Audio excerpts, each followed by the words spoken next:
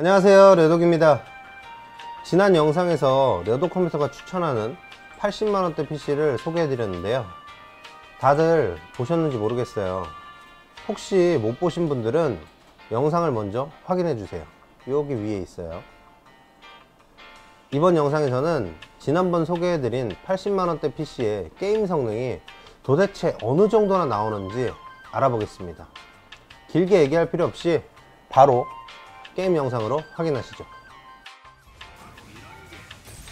리그 오브 레전드의 게임 옵션은 모두 매우 높음으로 세팅했으며 한타 때도 평균 205프레임 정도 나왔어요.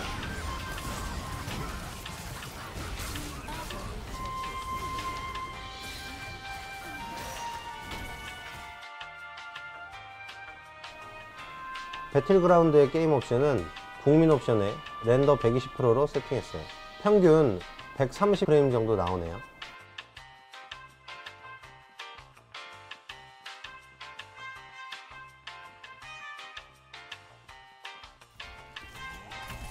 오버워치의 게임 옵션은 매우 높음으로 세팅했으며 렌더링 스케일은 100%입니다. 평균 프레임은 160 정도 유지되네요.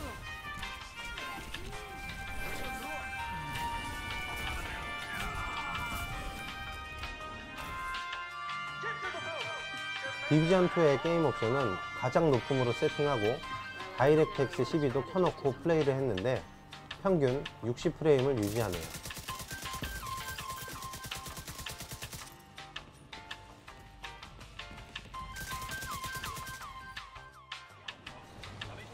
배틀필드 5의 게임 옵션은 최고로 세팅을 하고 DirectX 12도 켜놓은 상태에서 평균 68프레임 정도 나왔네요.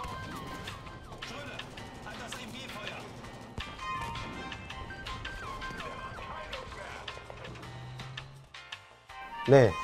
지금까지 려도 컴퓨터가 추천드리는 80만원대 PC의 게임 성능에 대해서 알아봤는데요.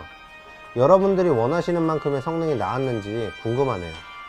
저희가 테스트하면서 느낀 점은 게임용으로 가격 대비 성능이 아주 뛰어난 구성이라는 점이고요.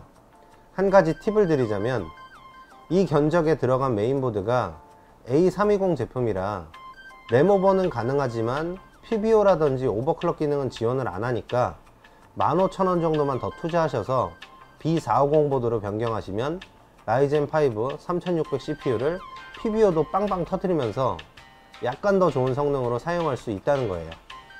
이번 영상은 여기까지고요. 영상이 마음에 드셨다면 구독과 좋아요, 알림 설정 부탁드려요. 다음 영상에서 다시 만나요. 안녕.